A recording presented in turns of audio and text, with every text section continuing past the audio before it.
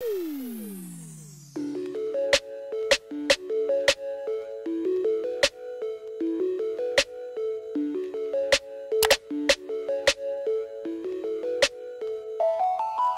friends and welcome back to a favourites video. These are always my favourite videos to film. I hope you enjoy them. We basically just get to chat about the stuff I loved this month. That's decks, books, videos and other other things I got up to. And of course, as usual, we will start with the books. So the first book I want to talk about is it's funny to put it in a favourites, but I sort of feel like it belongs here even though it only got three and a half stars from me. And that is the Blossom Book Club book for the month of June, which was Escape Routes. This is by Naomi Ishiguro and this is a uh, collection of short stories. And I suppose as with many short stories and anthologies and just books that are kind of like a mix of different things, it was a mixed bag. Some stories in here I really did not like at all, but there were a couple in here that, you know, made me cry and are the reason I wanted to include it in this video. It says here, whether snared in traps artfully laid for them or those of their own making, the characters in Naomi Ishiguro's delightfully speculative stories yearn for freedom, flight and new beginnings and find their worlds transformed beyond their wildest imaginings. And I think that's certainly true for some of the stories and the stories that I liked most were Flat Roof and Shearing Season. And I think they certainly fit that description. I guess the theme of this book is like it's just full of really uncomfortable feelings like grief, anxiety, restlessness, as Laura said from Aquamarine 18 just a lot of uncomfortable feelings. We meet a lot of these characters at kind of points in their lives that are have caused them a lot of pain and grief or they're kind of on a precipice of making a decision or they're not sure where they're heading in life just a lot of uncertainty. And so I quite enjoy a lot of that angst. Um, some of them feel less satisfying than others though. And the stories that felt most satisfying to me, as I said, were Flat Roof and um, Shearing Season. Those are the two that stand out to me. And I think in particular, Perhaps it's because I liked the characters in those stories the most. A lot of characters in these this book are not very likable, whereas in those two stories I feel like the characters are at least somewhat likable. I will say though that Naomi's writing is beautiful. I absolutely loved it. It's so engaging and really just vivid. There was also a few moments of kind of like playing with form in this book that I thought were kind of fun. Um, in Accelerate, a story about a guy who basically his life unravels as he becomes more and more addicted to caffeine and coffee. We get to a point in the story where he says, I was now moving too quickly to think comfortably even in prose and was needing to inhabit an even faster moving medium. And so the story switches from using prose to like a script. so it's quite a frantic, chaotic story, which very much mirrors um, like the mental experience of the main character. So it was a mixed bag. Um, I only gave it three and a half stars for that reason. Um, but some of the stories in here were just really really beautiful and that I adored so I wanted to include it in my favourites video this month. The next one I want to talk about is Tradition, Truth and Tomorrow by Galarrwuy Yunupingu. This I also read in the same vlog as Escape Routes. It was a really good reading week, what can I say? This is a really, really short book. I read it in one sitting and it's just an essay um, from Galarrwuy, who is um, a Aboriginal elder. On the back it says Galarrwuy has played a key role in the battle for Indigenous land rights and has been a strong advocate for Aboriginal Australians. And this is kind of just like a really brief overview of his life, but specifically in relation to his role as a leader, I suppose, um, of his community um, and his political engagement, I suppose, um, like his experience with different members of parliament and with several prime ministers and just trying to advocate for his community, trying to get some land rights, trying to improve their life, all of that stuff. So it's full of some incredible successes and the resilience and determination of this man, um, but also just a lot of heartbreak and disappointment. Just simple, powerful, effective storytelling of, of this man's life and his journey. In that same week, yes, it was a great reading week, I also read the third in the Murderbot Diaries by Martha Wells, which is called Rogue Protocol. And this got a big fat five star rating from me. This has been my favorite book of the month. I absolutely loved it. The Murderbot Diaries series is just a like a short series of quite short books. I think there's a longer novel at the end. But so far all the books I've read have been like 150 pages. And it's like this sci-fi futuristic adventure sort of thing um, where our main character, our protagonist, is a um, security unit who's like an android, um, but it's sentient um, and can think for itself, make its own decisions, and it's off on a bunch of adventures. and although Murderbot, which is the name this security unit has given itself, does get into a lot of trouble, um, it's really quite funny, it's really humorous, and I just love how this you know, non human entity tackles things like morality, what is and isn't okay, also, it has a lot of anxiety. It's just an absolute wild ride. It's so fun. I cannot get enough of this series.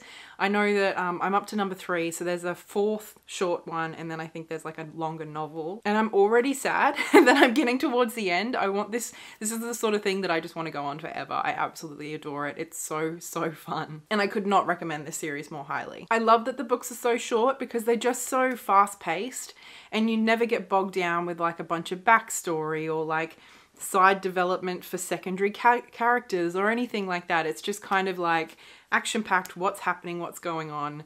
Um, but from like this really kind of almost human, but really not perspective, which is just really, really fun and interesting. I love it. I've already downloaded the fourth one. I can't, I'm trying to like space them out a bit so I can save them, but oh, they're so good. I did also read a couple of other books like um, It's Our Country and Boy Swallows Universe, but I think those three would be my top favorites. I did want to ask you guys though if you like this format of every month me just talking about my favorite stuff, um, or if you would like me to do like a reading wrap up as well at the end of each month where I talk about the books that I loved, but also the books that I didn't. I suppose that would depend on how much reading I got done each month, but I don't know, let me know what you think. Now for decks, I just have one to share with you this month. It's the Dreamtime Reading Cards by Laura Bowen. Oh, I I just genuinely, like this was my first kind of love as far as Oracle decks are concerned. Um, more recently, I've kind of been obsessed with her saltwater reading cards the last couple of years. But I pulled this one out to take a photo um, for the TS Bookshop Instagram and I just kind of haven't put it away again. I've had this deck for years and years and years and it is just it's like a home deck for me. I just I adore it so much. These colors are just so pretty and vibrant. And I love um, Laura's guidebook. It's so simple and direct, proactive, helpful, all of the things that a good guidebook is. But I know these cards so well at this point, so I don't always go to the guidebook, although I do feel like very often Laura, like reading through that does add something really powerful to my readings when I'm reading for myself with these cards. But a lot of the time I just like pulling these cards out and just like meditating on them in the morning. Just that more subconscious interaction with the cards of letting them affect me and my day moving forward. So it's no secret that I'm not using tarot and oracle as often, as much, as intensely as I have done in the past.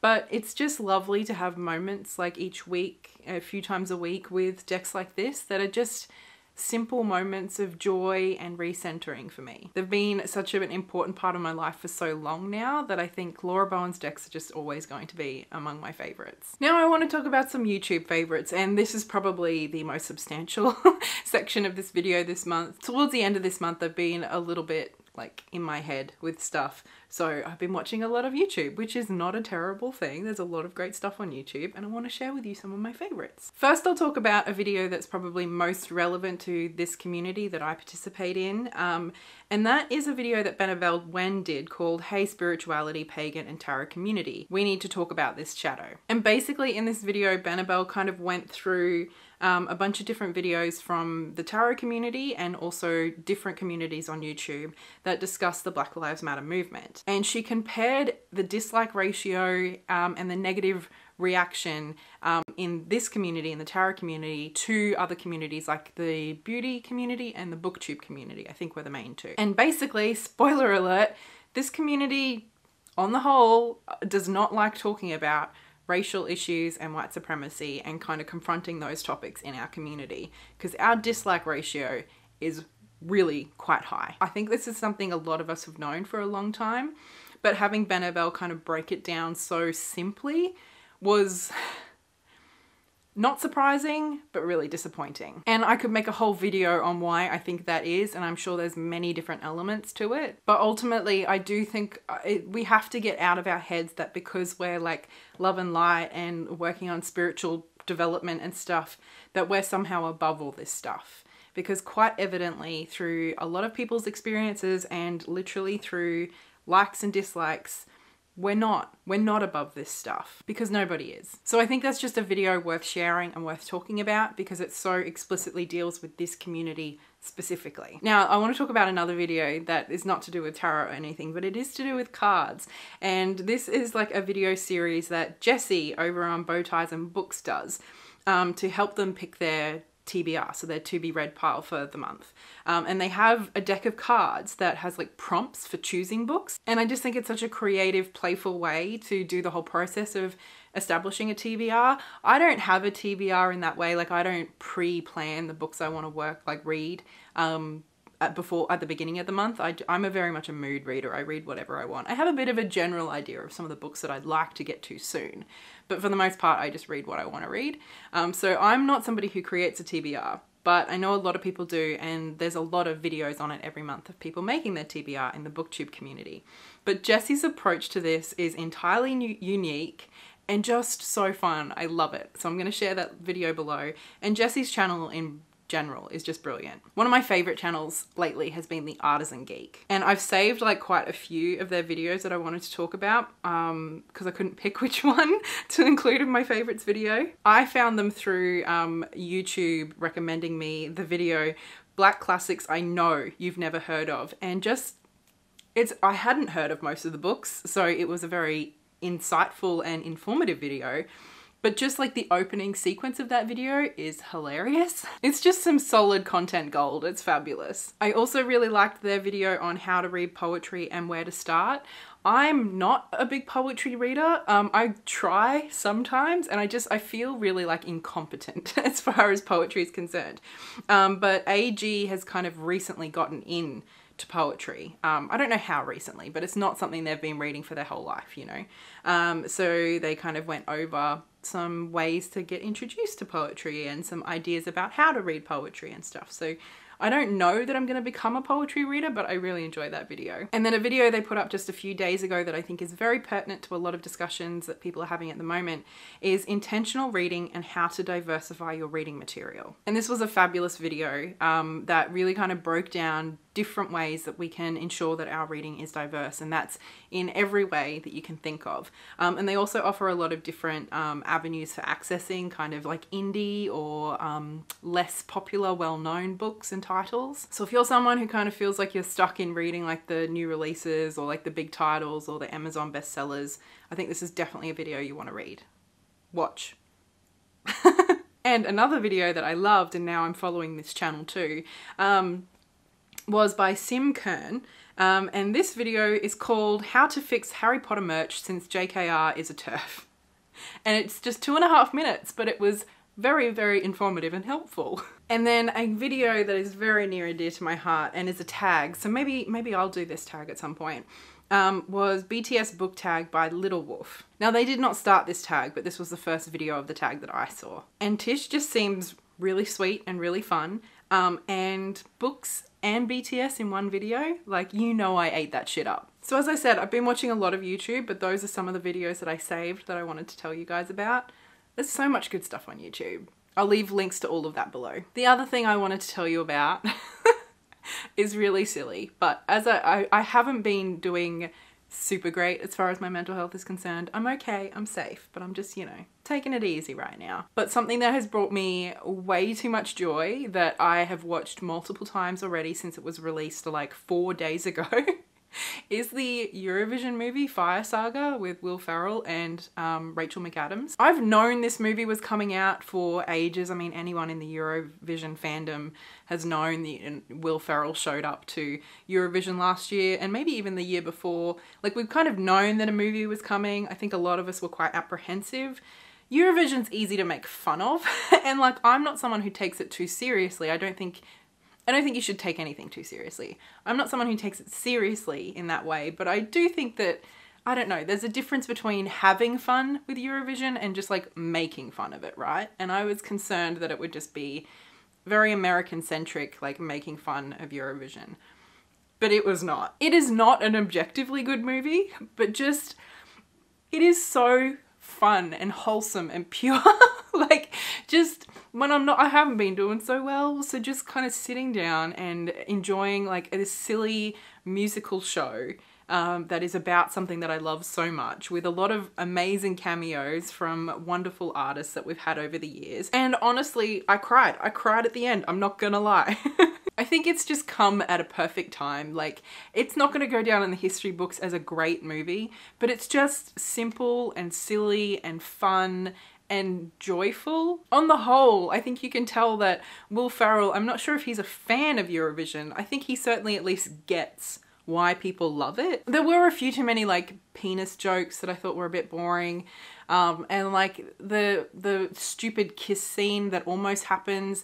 I feel like that happens in a lot of Will Ferrell movies. So some of the humor was a little bit cheap, but overall, just like the music and the celebration and the, oh, I just, I, I love it. I'm one of those people that when I'm not feeling great, I tend to like re-watch comfort things a lot of the time that is like Stargate, Doctor Who, or Harry Potter for me.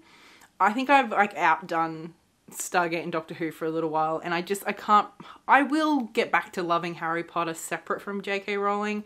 But for now, I'm just a little bit too mad to enjoy that as like a simple pleasure. Turns out Eurovision Fire Saga is now my comfort thing that I've watched way too many times already. I love it. And especially seeing as this is the first year ever in 64 years that Eurovision has been cancelled. My year is literally planned around Eurovision, right? So like my May just felt empty.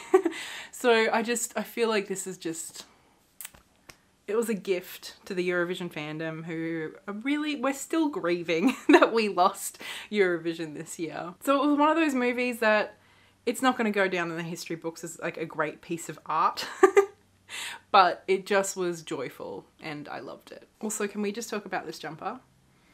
You know I love a good jumper. This might be my favourite at the moment. so those were all my favourite things of the month of June. Of course I have to say a big thank you to my patrons over on Patreon, especially a big extra special thank you to Tracy Timmerman, Laurie, Lynette Brown and the Hales K. Thank you all so much and thank you for watching. I do hope you've enjoyed this video. Let me know in the comments below what you've been loving this month, whether it's books, decks, movies, YouTube videos, whatever just let me know what's been bringing you joy in your life. Because a lot of powerful amazing difficult stuff is happening in the world at the moment. A lot of sad stuff is happening in the world at the moment. And while we have to stay engaged and active in those areas i think we also need to make space for fun and joy and happiness. So let me know what you've been loving in the comments. I will talk to you again soon and much love. Bye